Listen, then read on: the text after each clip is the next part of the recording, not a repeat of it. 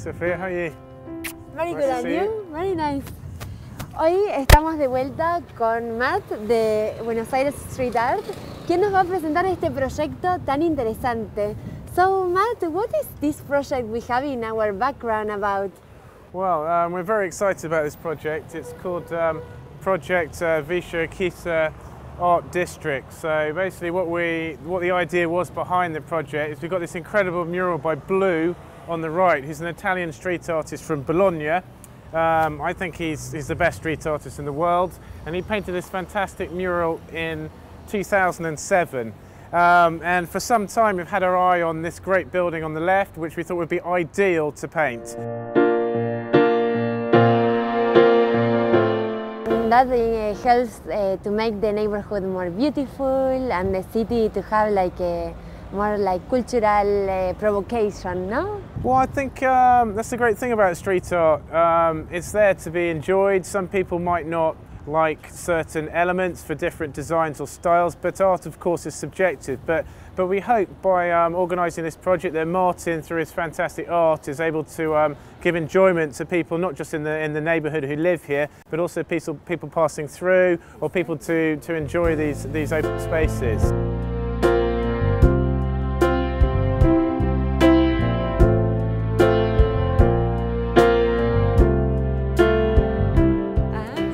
Eh, Villa Urquiza tiene la particularidad que es, eh, funciona como un distrito de arte, donde muchos artistas urbanos, eh, tanto nacionales como eh, internacionales, dejan su huella.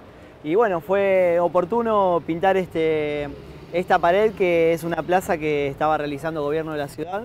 Así que sumando esfuerzos entre todos, o sea, con sponsor de marca de ropa Soulfly, que es un sponsor mío, Ah, gobierno de la ciudad y Buenos Aires Street Art, eh, colaboramos para hacer este, este proyecto. Y ahora sí, ¿y qué tiene de particular? Porque tenés enfrente la obra de Blue. ¿Cómo? Y bueno, eso se le- es- está bastante interesante porque de hecho es una obra muy famosa que muchos turistas y mucho, mucha gente que, que sigue el arte urbano viene, viene a conocer.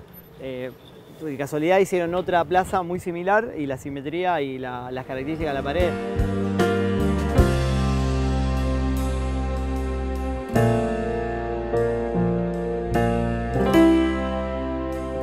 ¿Y, el esbozo te ve, en qué te inspiraste? Sé que te inspiraste en muchos de los ele- elementos urbanos de Buenos Aires. Sí, eh, en realidad más que cosas puntuales, sino eh, diferentes eh, situaciones que tienen que ver con lo urbano. Yo vengo trabajando una línea eh, surrealista, que son situaciones graciosas, ¿no? con un poco de humor y mucha fantasía, que convive muy bien con el paisaje urbano.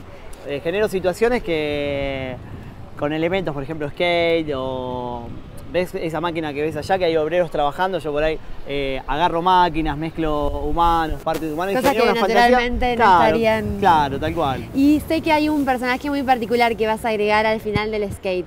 Sí, al final del skate vamos a hacer una- un pequeño homenaje, sabes mucho, sabes más que yo. Ah, ¿eh? pues, Estoy estudiando, hago la tarea. Ahora me comprometo, lo tengo que hacer. Eh, sí, vamos a poner eh, a Clorindo Testa, que Clorindo Testa fue el, el, el que diseñó estas y- plazas. Y bueno, y acá están las, Las- obras de las esculturas. de Clorindo Testa. Falleció hace muy poquito y yo suelo incorporar algunos mini homenajes, tanto amigos, familiares o algún vecino que, que colaboró, lo suelo retratar, que siempre hago eso en los murales. Y bueno, me pareció oportuno también eh, que participe, Homenajearlo homenajearlo, y- un pequeño Clorindo Testa que interactúe con, con la obra.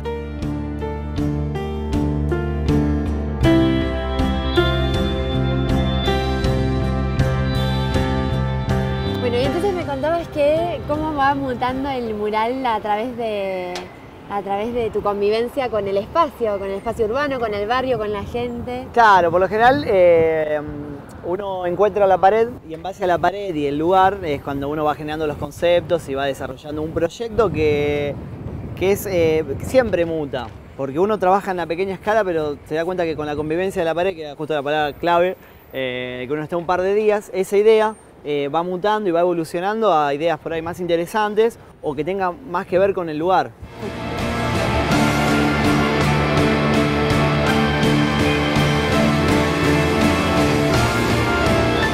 Me despido del capítulo de hoy invitándolos a que suscriban a Cosmoarte TV y los veo el próximo jueves. Chau, chau.